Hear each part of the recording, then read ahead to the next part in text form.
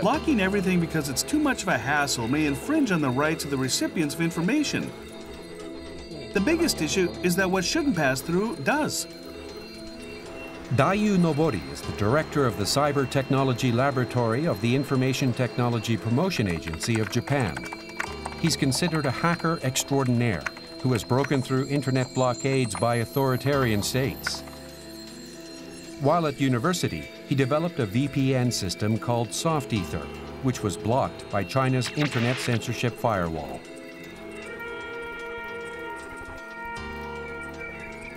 I want to have a dialogue with the people who block the system, because it's people who are behind it.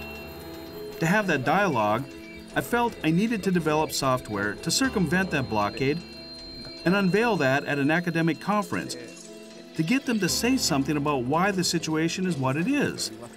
That's why I decided to do this research.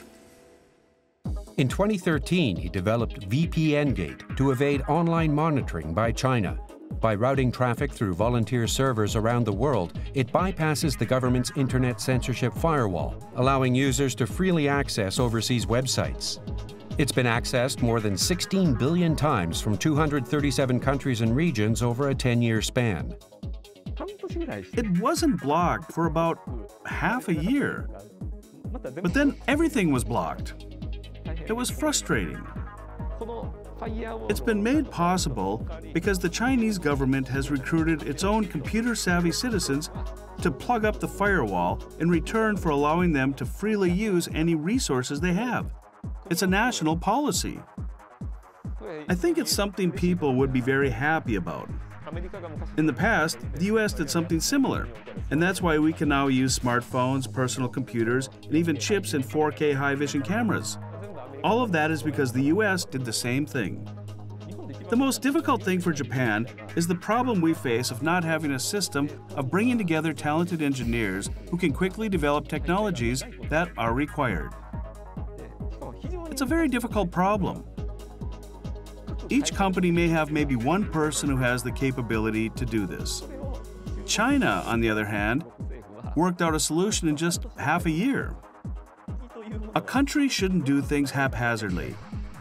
It needs to make maximum efforts and invest sufficiently to get the best researchers to apply their brain power to the fullest extent possible and develop the best solutions.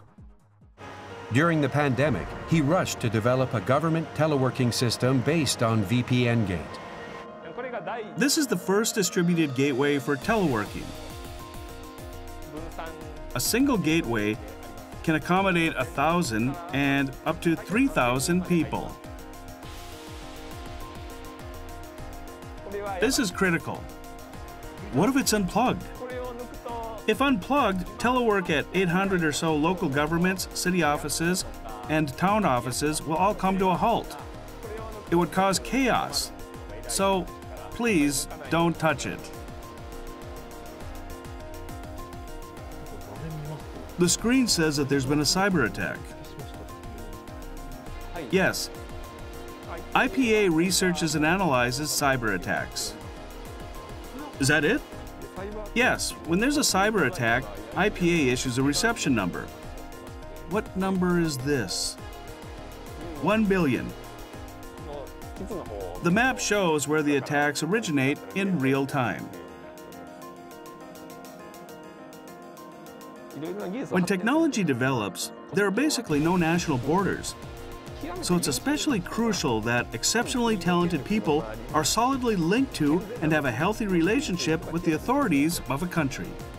What's more, they may be working on the country's Great Firewall now. But the skills they acquire in doing so may lead to the development of new software or new operating systems or new internet communication technologies. I believe that could become the foundation of next generation computer systems and AI. What we hackers do isn't at all political.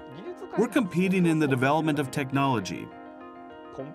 And the growth of engineers who understand the essence of computers and communications will clearly benefit everyone around the world.